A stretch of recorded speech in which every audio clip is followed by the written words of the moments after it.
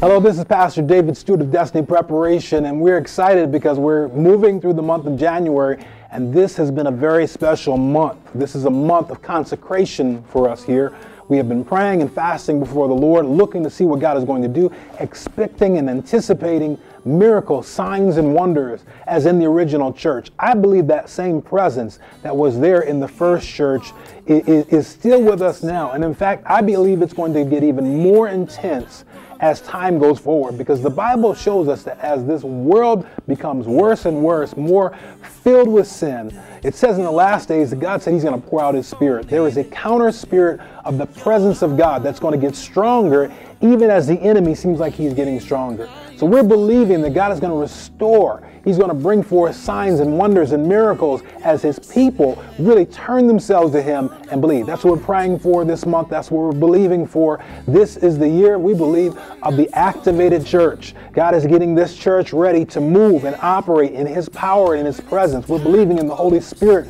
coming forth and turning lives around, about people being infilled with the presence of God, about the gifts of the Spirit moving and operating in the church. We are believing for the dynamic power of God to take us not only to the next level, but to the next dimension. I'm believing for that, and we're declaring it right now in the name of Jesus. So I want to encourage you to come and be a part of this, part of the movement that God is beginning here at Destiny Preparation Church. You're invited to come and join us. We're, we're located at 1405 Lyell Avenue in the, in the city of Rochester, right across the street from McDonald's. We would love to have you come and join us here and just see for yourself. If you come in and don't feel the presence of God, you don't have to come back again. But if you come and you feel that there's something happening here dynamic, then listen, you'll know this is a place you need to be.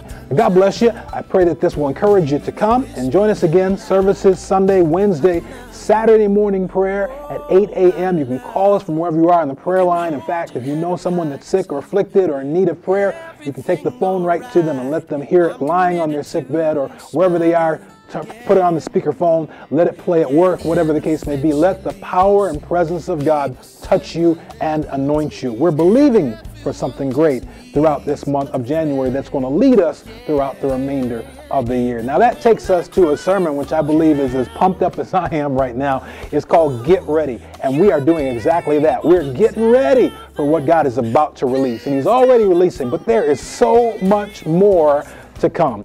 I hope that you'll be excited about it and come and join us here as well. God bless you. Pray this will, will, will inspire you and that you'll come join us in the house of God real soon. I want to talk about getting ready for what God is going to do. And I really want to talk about uh, the mindset, the expectation. I want to talk about your, your, the way you're thinking about things because your mindset is very important.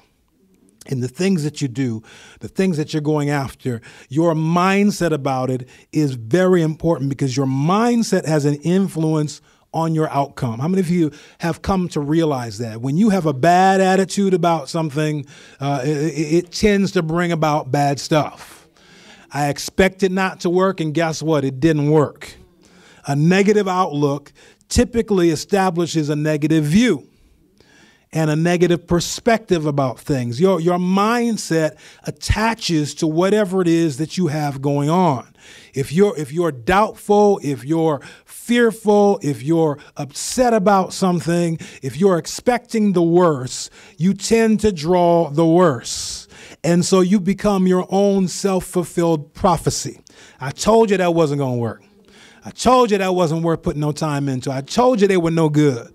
Mm-hmm. They were good everybody else for everybody else, but for you they were no good. And I told you, I knew it.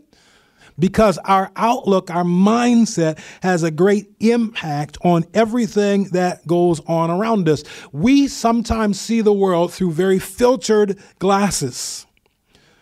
We see, and the interesting thing about a filter glass, you ever put like sunglasses on and, and everything looked a certain way before, and you put your sunglasses on and now everything looks orange? Or everything looks blue, uh, and you're like, wait a minute, what happened? Something different, right?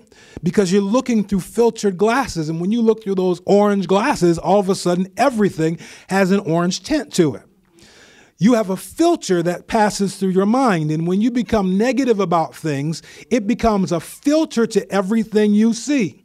Every time somebody twitches, you're like, they're twitching about me. Uh huh. Every time somebody looks to their left, every uh-huh, see, I was sitting on their left. See that? They was looking at me. They always why always watching me. Uh-huh. Amen. We, we, we will filter things in such a way and interpret them to how we're feeling, how where we're at in a situation. And so we have to be conscious of the fact that, that we can cause a negative experience. We can create a negative or failing environment. This could have worked, but because we had our mindset that it wasn't going to work, it didn't work. This situation could have worked out all right, but we we put it in we put it in the grave before it even started. And so we have to be conscious of the mindset that we take into things. Your, it, will impact both your, your emotional st- state and your persona. When, when you have a negative a mindset, you get emotion, it messes with you emotionally. Now you're depressed. Now you're frustrated. Uh, nothing even happened yet. Uh, you, you're just intense and in anticipation of what's going to happen, of the destruction. And so now you you are getting nervous breakdowns and you're sweating and palpitating and all kind of stuff going on, and nothing's even happened yet. But your mindset can throw off your whole personality, your whole emotional state. Some of us are physically sick for stuff that hasn't even happened yet because our mindset takes us to a place of expectation of the wrong. Now, you can flip the switch on this, and some of us have a positive outlook. You know, some people, you know, half glass half full, some half empty. Some people is always half empty. No, ain't never enough in there. It's always should be more. Some people have a positive outlook. Well, you know, it's on its way. It's a little bit more than it was. It's headed in the right direction. Same glass, different perspective of it. When you have a positive outlook on things, it brings an expectation of positive things. I don't know about you, but I have a sense of expecting something better, something great. I'm always looking forward to next year. Uh-huh. Some people like, oh no, what's going Oh Lord, what's gonna happen now? What what bomb is gonna drop next year? Oh gosh, what's gonna happen? Here come the income taxes. Oh God, here comes the next problem. The, the more problems. Some of us expect more and more and more and more problems. I'm expecting more and more relief. I'm expecting deliverance. I'm expecting change. I'm expecting next level. So you've got to capture the right mindset. You want a mindset of expectation, of anticipation. Amen. Because when your mindset's in a certain way, then your behavior begins to move in a certain way. You begin to carry yourself different. You can tell the difference between somebody who's excited and somebody who's depressed. You can just look at them and tell where they at. Well, oh God, here they what what what happened? What ha- what happened? What happened to them today? The hair ain't combed right. You know, they ain't shaved in about three weeks. Uh, they wearing their raggedy clothes. They, they they're not expecting nothing. Amen. I'm expecting to meet somebody. Come on, I'm expecting to meet somebody. Amen. I'm gonna get dressed up. I'm gonna get. Re- I'm gonna be looking cute. Come on, somebody. Amen. Because I'm expecting something to happen here. Uh, y'all know what I'm talking about? Uh, I'm, I'm trying to tell you, your mindset flashes all over your body. It changes your behavior. It changes your responses. It changes how you carry yourself. A depressed person got your shoulders all down, looking all down. Amen. I want to see nobody eye to eye. Amen. Somebody when you when you go into an interview, uh, uh, your body language speaks a lot of where you're at. And if you're going in not anticipating getting the job, and so you start making excuses about everything. Well, you know, I, I, thought I could do, I think I could do it, you know, and yeah, I had some problems in the past. I know you saw that, and I've gone through this. And then, no, no, we're not talking about all that. You know, talk about how, you talk about how, yes, I can do this job. I'm, I'm ready to do it right now. Hey, man, you can, we can pick this up. Give me five minutes. I don't, in fact, I don't even need to make the call. Where, show me to the floor. I'm ready to go right now. Your mindset, your attitude changes, amen, based on where your mindset is. And so it's important for you to understand that how you feel about a thing impacts the experience itself. We can look at the same thing, we can sit in the same movie, and, depending on what your expectation is, one person can come out seeing one thing and another person come out seeing another. Amen. One person comes out saying, Oh, it's great, man. It was fantastic. I got into the story. It was wonderful. Another person comes, Man, they had this problem and I saw they messed this up and they said, I don't know, they twisted up this line and that wasn't right. Same movie. We look, were we looking at, were we in the same place? because your, your mindset will impact your overall experience. And so we have to be conscious of our mindset toward things. We, we've got to prepare uh, as, as people of God and just in general, we have to prepare ourselves mentally and emotionally for great things. Somebody say great things. It's time to stop preparing for the disasters. It's time to stop setting up for failure. It's time to stop being in an expectation of the shoe to drop and things to go wrong. It's time for us to expect something great to happen. We've got to get our mindset. I'm talking to all of us. Everybody, look around you. Everybody, look around you. Everybody. We, we, somebody say we, we, we, we. We have to get our minds in a place where we're expecting something great to happen. Often, sometimes our, our past experiences can cause us to, to close off our expectation. Well, you know, last time I got excited about something, something bad happened. Last time I said I was going to do this, uh, problems came up. Last time I made a commitment like that, it was a disaster. And the problem is, if we hold ourselves back by yesterday's problems and yesterday's failures, then we're going to constrain our future based on what we experienced in the past. As a result of that, I can never be any more than this. I can never have any more than this. You see, some people, as soon as they start getting successful, they mess something up. You ever see about self-destructive? Amen. Just when it starts looking like it's going to be good, they throw some kind of self-bomb in there and just let the whole thing go. And then they say, see, I knew it wasn't going to work out. You can't be constrained by what didn't work yesterday. Yesterday is yesterday. Tell somebody yesterday is gone. Yesterday, that's gone. We, we can't be held back by yesterday's problems, yesterday's issues. Listen, yesterday's fights don't, don't matter. Amen. Because because you had problems yesterday don't mean you have to have problems tomorrow. Just because things went wrong and things went awry yesterday doesn't mean uh, that you have to expect the same thing to happen again and again. We have to change our mindset so that we can get out of our rut Mm-hmm. and get out of our own way mm-hmm. and get out of our own problems mm-hmm. and lift ourselves up to the next level. How many of you ready to climb up out of the stuff you've been in the past and see something better happen in your tomorrow? Got to get our mindsets right. We, we constrain ourselves. We constrain ourselves. So, therefore, I can never trust anybody again. Because the last time I trusted somebody, oh Lord have mercy, I'll never trust. I'm not going to put myself in that kind of position ever again. Anybody know what I'm talking about today? Not going to try that again. Last time I tried that, it was a mess. It didn't work. And so we we commit ourselves, we constrain ourselves. And, and so because we I'm not gonna try it again. Well, last time something else happened. Last time was a whole nother story. You in a whole nother day today. Amen. Today is not yesterday. Tell somebody today is not yesterday. Tell them yesterday is gone. we dealing with tomorrow now. we dealing with a new day. Listen, the sun's to come up again. Uh huh. The sun is to rise up again, and it's to be a new day. And just be today is not based on yesterday. Amen. I guarantee you, the weather is to be different tomorrow than it was today. I'm not saying what way it's to go. I'm just saying it's going to be different. It's going to be a new day. There's going to be new, be new challenges and there's going to be new blessings. Amen. But I can't, I can't deal with my tomorrow as if every tomorrow is, is based on yesterday. Uh, we, we avoid things because I don't want to experience, I had so much pain. Pain will cause you to leave something alone real quick.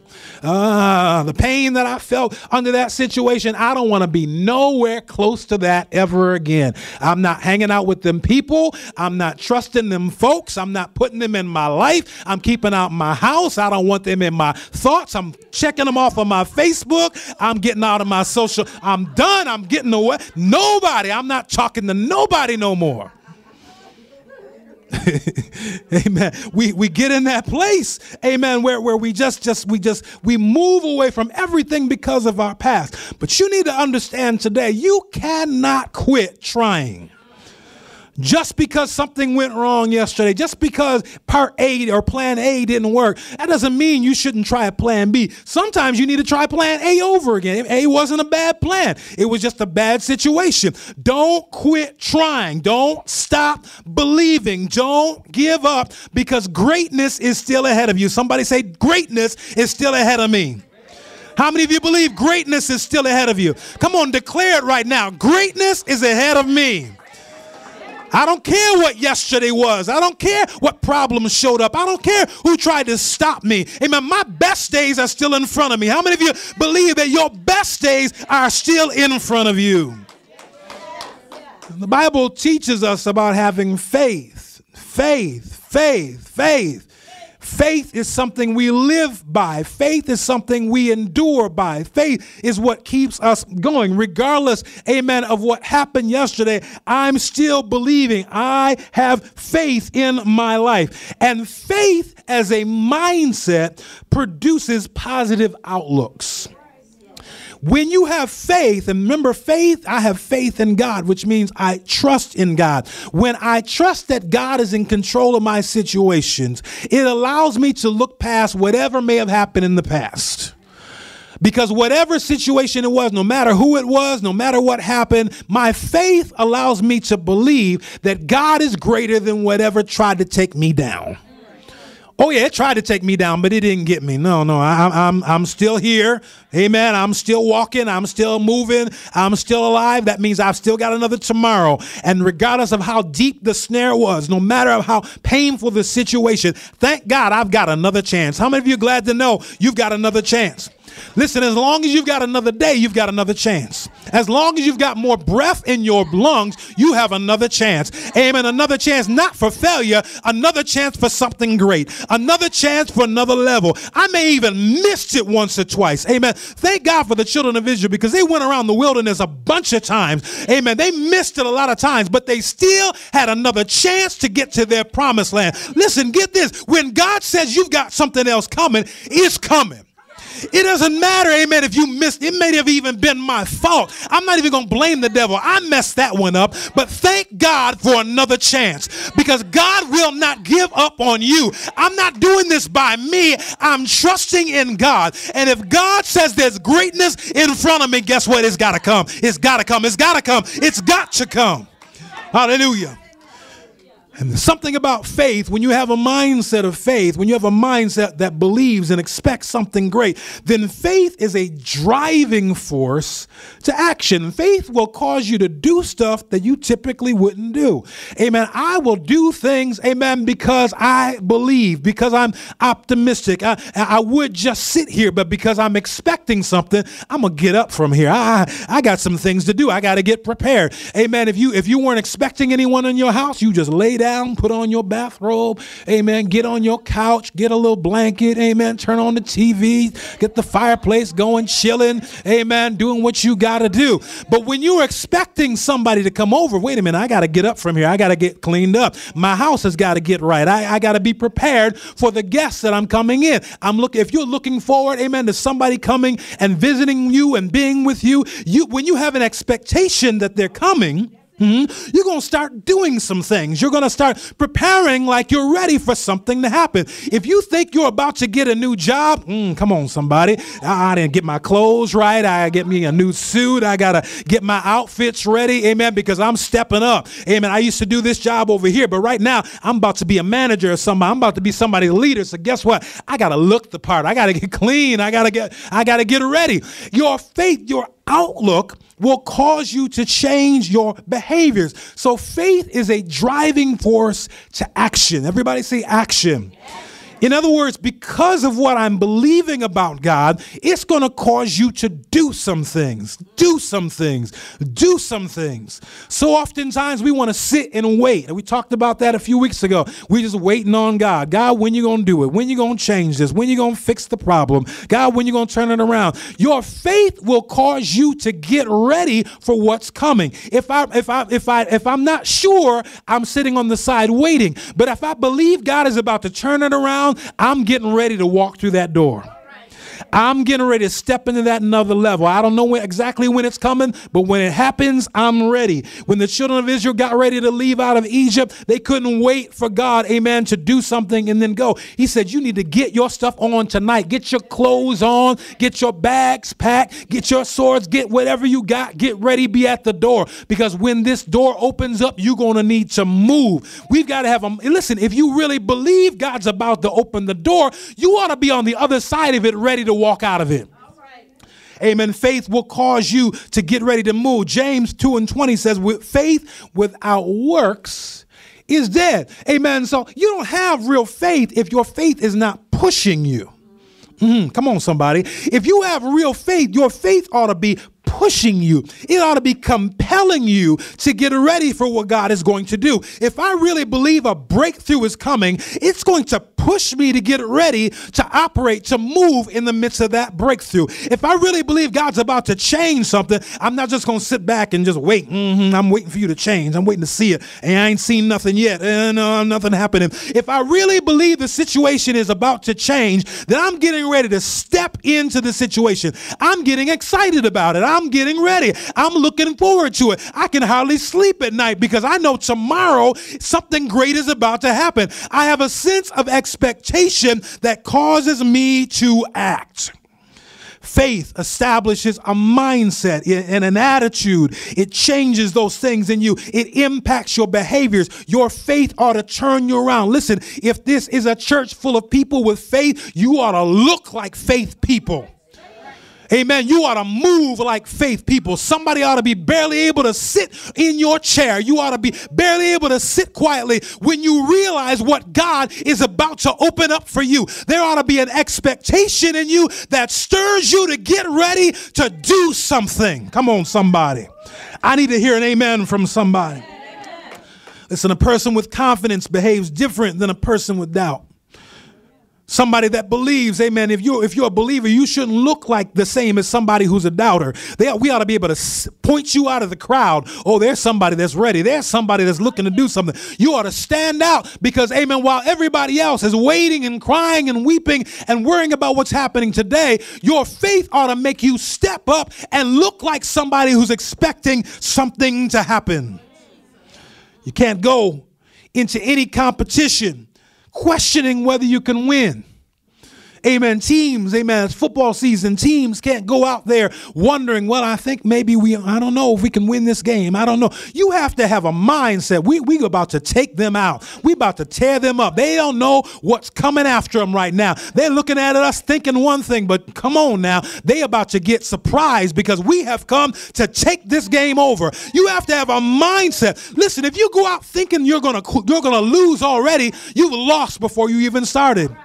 Saints of God, we've got to have a mindset of victorious people. We have to have a mindset of overcomers. We have to have a mindset, amen, that are ready to go out, amen, and get something done. Listen, winners don't expect to lose. Amen. Come on, somebody. Winners don't expect to lose.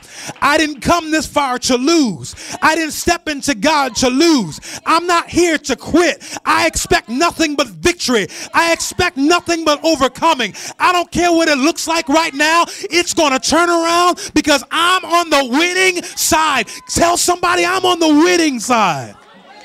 I don't care what the devil throws at me. I don't care how rough it may seem. I don't care how hard the day might be. Amen. This is just a day, but there's another day that's coming after this. I don't care how great the test might be. Amen. My mindset is beyond today's troubles. My mindset is on the victory that I know is on the way.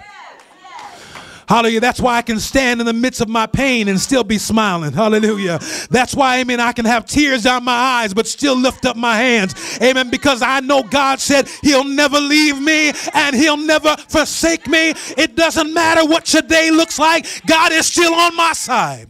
Hallelujah. Tell somebody victory is still mine. Come on, declare it. Victory is still mine. Hallelujah. Hallelujah. There's something about faith that'll cause you to move in a different way, act in a different way, behave in a different way. Let me put it to you this way faith steps up. Faith steps up. Faith will cause you to get up when everybody else is sitting down. Faith will cause you to run when everybody else wants to stop. Faith will get you on the move when everybody else wants to quit. You may be tired, but my faith will keep me going. Somebody say, faith steps up. That's why David, amen, when he stood before Goliath, come on, you know where I'm going. Amen. An obstacle that seemed too big for anybody. Listen, Goliath was far beyond David's personal ability. He had no chance of defeating this Goliath giant by himself. Amen. There was no possible way he could out sword fight him. He could he wasn't stronger than him. He wasn't bigger than him. He wasn't faster than him. He had far less experience. There was was no possible way for him to defeat this obstacle. This obstacle was so large that even those that knew how to fight wouldn't fight. Come on. Even those that were professionals at doing this said, No, no, no, we're not getting in this. Here's David, a shepherd, has no idea what he's doing, has no idea how to fight, has never fought another man. And now the largest man in the territory is standing against him. He should have quit up, he should have quit, he should have shut up, he should have sat down, but faith caused him to step up. Oh, somebody ought to get excited right there. Amen. Faith will cause you to step up against things, not because of your ability. Somebody said, not by my might, nor by my power, but faith caused him to step up because my God is more than able to defeat anybody that comes against me. Somebody ought to say, Greater is he that's in me than he that is in the world. It's not by me, but my God will cause victory no matter what comes against me.